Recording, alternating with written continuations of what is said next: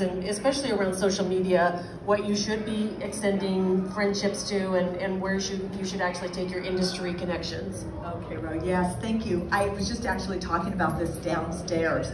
I just have a question to ask everybody.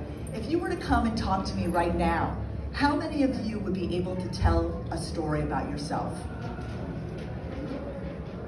Okay.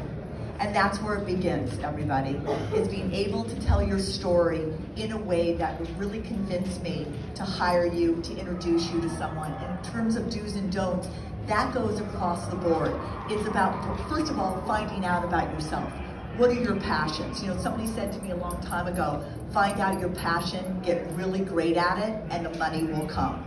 So it's first finding your passion, honing it, and getting really good at it. And for, with social media, it goes down the road. Your LinkedIn, your Twitter, your Instagram. It's not this anymore. We're in the stage of branding ourselves across board. So if it's about being a musician, record yourself. I was just speaking to someone downstairs. She's like, well, but I don't have myself on video.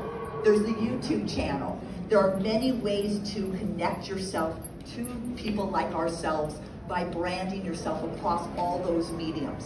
So it's really important. Those are do's. Don'ts are don't leave messages on someone. Hi, I'm a musician. Love to talk to you.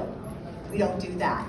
We don't do things like, um, you know, not following through. We had a woman downstairs uh, from Live Nation as well, and everybody who was sitting around when she was talking, I just sort of mentioned, today you're gonna write everybody a thank you note. It was great hearing you speak. Love to connect with you. I do this, I do that. Is there someone I can speak to at Live Nation? So it's all about connecting to the source of who you are and what you're all about.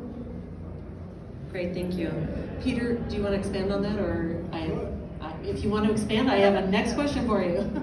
uh, well, pardon my French, but rule one is don't be a shithead. Just seriously, yeah. never